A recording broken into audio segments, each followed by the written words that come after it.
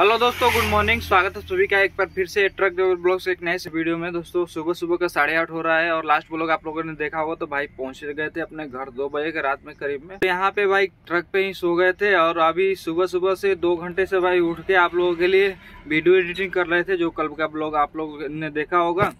तो आज का सीन ये दोस्तों, आज गाँव दिखाने वाले हैं, क्योंकि भाई आपने कमेंट किए थे कि ज़रूर अपना गाँव घुमाओ और दिखाओ, बहुत दिन हो गया।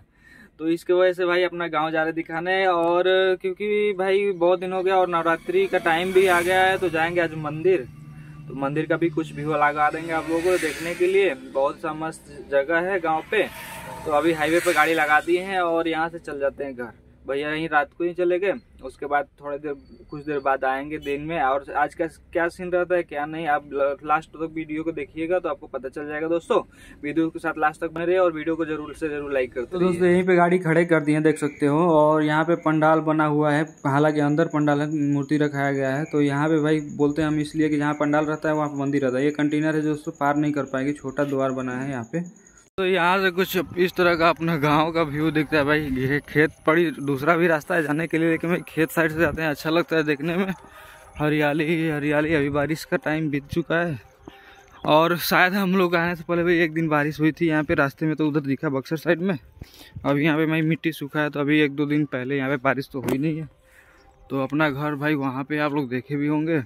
चलो चलते हैं, यहीं पे पिछली बार भाई धान बोए थे, आप लोग वीडियो में अगर पुराना वीडियो देखे होंगे तो भाई इन सब खेत में धान बोए थे हम, लेकिन ये अब नहीं बोए हैं, क्योंकि मतलब जैसे जैसे भाई चारों ओर घर बनते जा रहे हैं, उसके उसके बाद धीरे धीरे भाई खेती भी कम होती जा रही है। देखो, बीच में खेत खेत में भाई घर बन चुका है यहाँ पे। और इधर का भाई अभी धान तैयार हो रहा है, जबकि भाई पूर्णिया साइड में धान कटना भी चालू हो चुका है। तो अभी भाई एक महीने एक महीने टाइम लगेगा और एक पटवन भी लगेगा इसको तैयार होने में।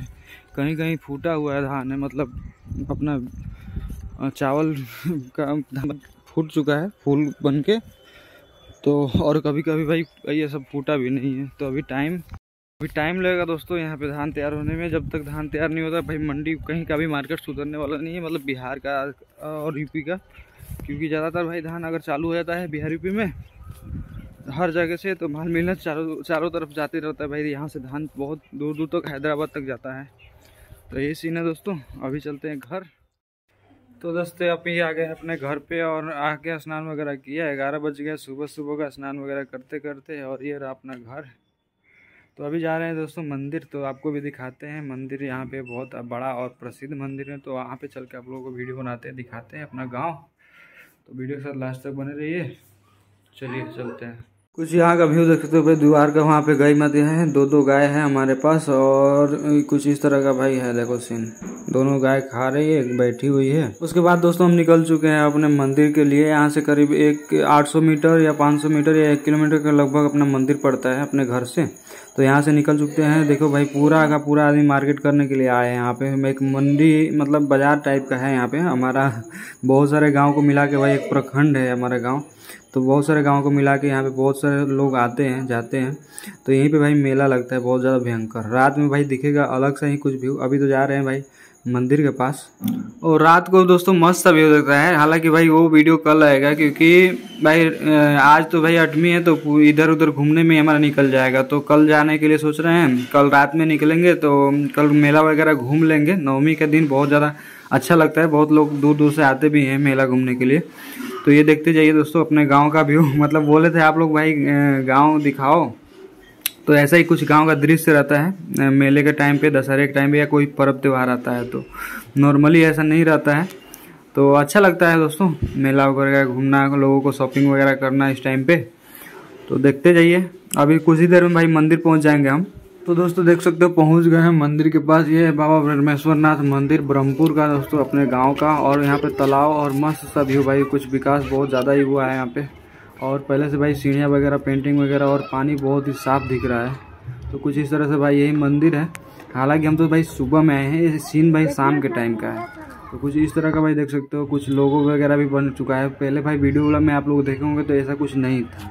तो सुबह में आए थे जो दोस्तों थोड़ा सा दुर्गा माता जहाँ पे रखाई, वहाँ का सीन ले लिए। उस तो दोस्तों, अभी शाम का टाइम हो गया है और हम आए थे भाई सुबह में ही पूजा करने के लिए। उस टाइम में वीडियो नहीं बना पाए किसी कारणवश से। अभी आपको शाम को आया था दिखाने के लिए। यहाँ पे कुछ अपना गाँव भाई बोल रहे थे कमेंट करके तो गाँव भी आपको दिखा दिया। यहाँ पे भाई जब भी शांति चाहिए होता है तो या तो मंदिर में आओ, या अपने घर के पीछे भाई बगीचा है, उसमें आगे जाके बैठ जाते हैं हम लोग। तो यही सीन रहता है, बहुत यहाँ पे शांति महसूस होता है। और ये भाई पहले सेल्फी पॉइंट नहीं था, अभी कुछ विकास हुआ है अपने गाँव का तो सेल्फी पॉइंट भी बन गया है। जैसे वहाँ पे फ़ोटो वगैरह खींच सकते हैं पानी में जाके तालाब में जाके। देखिए, वहाँ पे लोग, लड़के खींच रहे हैं, और ये स्कूल है जहाँ पे हम लोग पहले पढ़ते थे। मिडिल स्कूल है दोस्तों वन से एट तक पढ़ाया जाता है। बाकी सब उधर बस्ती है हॉस्पिटल है वगैरह वगैरह है। और बाकी ये मंदिर का व्यू देख सकते हो। चलते हैं एक दुर्गा मंता मंदिर। कुछ इस तरह से ये भाई मंदिर के पास में मूर्ति रखाई गई है तो पूरा भाई देख सकते हो माता रानी का दर्शन कर सकते हो आप। बाकी भाइयों अपना रात में आपको मेला का व्यू दिखाएँगे क्योंकि रात में पूरा लाइट वगैरह जलेगा और अच्छा लगेगा। तो घूमने आएँगे तो उसी बहाने भाई आप लोगों को भी दिखाएँगे। तो बाकी दोस्तों चलते हैं अपने घर के लिए और मिलते हैं कल के ब्लॉग में दोस्तों। Bye bye.